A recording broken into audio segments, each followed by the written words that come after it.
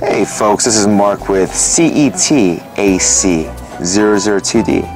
Now this is part of Orient's uh, executive series, and as you can tell from the case shape as well as how it rests on my wrist, this is really quite a classic piece.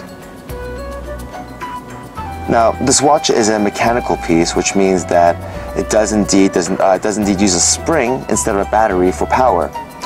Now, uh, what's the advantages of having something like this? This is the art of true watchmaking. Um, making a watch using a spring to power it is what they call mechanical. This is the true essence of watchmaking. Yeah, a lot of people will say quartz watches are great too, but we also make quartz watches. But there's something about a mechanical watch which is absolutely fantastic. So let me go ahead and take off the watch. You'll notice that there is a logo back here of the company. You'll see two buttons on both sides of it.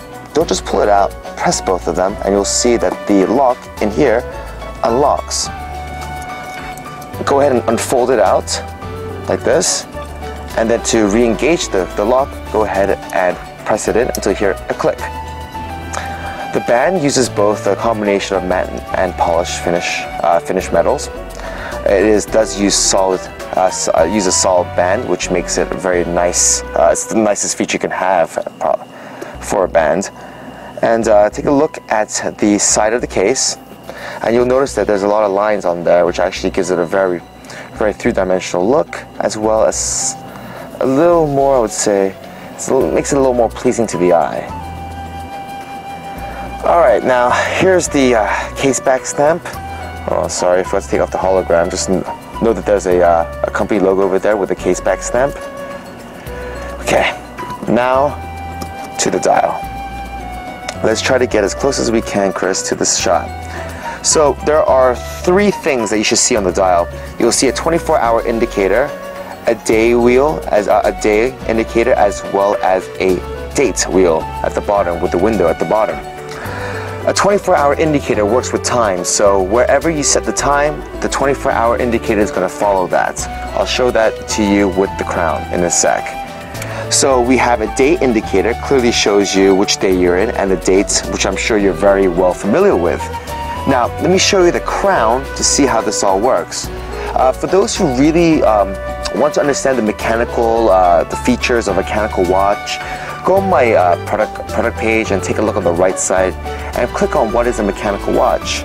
And you'll just spend a few minutes there and you'll really understand the technology. And I think you'll be impressed, which is the reason why I'm asking you to go. And uh, you don't have to buy an Orient mechanical. It's just something that you, I think you should know, no, just for all sorts of, uh, for any reason. So, let's go ahead and use the crown. There are two settings. There's obviously the neutral setting, there's the first setting, which allows you to, uh, to change the date, and the second setting, which allows you to change the time. So with the first setting, if I rotate the crown towards me, well, I don't know if you want to say towards me, but this way, you'll notice that the date wheel turns as such. So let's go ahead and change time. You'll notice from the 24 hour indicator, I'm on the AM portion of it. So even if I cross 12, the day is not going to be affected.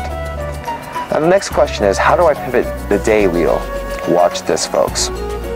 Here's midnight. So some somewhere between around 1.30 and around 3.15, you're going to see two pivots. The reason why Orient watches typically use two pivots is because we typically don't use an indicator like that. We use a wheel that has both Spanish or English or French and German uh, it, it uses two languages. And so you'll see two pivots, and this is absolutely normal for an orient movement. So let me go ahead, and around 115 to 130, you'll see it, the, the first step. There you go, you saw it right there. The next step happens around 3, 3 o'clock to 3.15. So here's 3, yeah, happened around then, okay? Now that it's completely on Thursday, usually around 3.30, go ahead and reverse back and repeat the process until, you, let's just say we need to go to Sunday. Just watch me go to Sunday. The only thing I really ask you to do is wait until you see it, the indicator fully go to the next day and then reverse back. Okay, now it's on Sunday, now I can reverse back. Okay?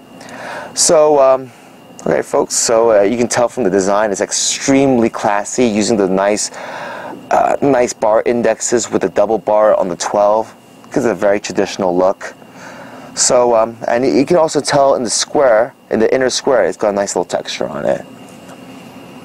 Alright folks, so this is CETAC 002D. Hope to see you wearing it soon.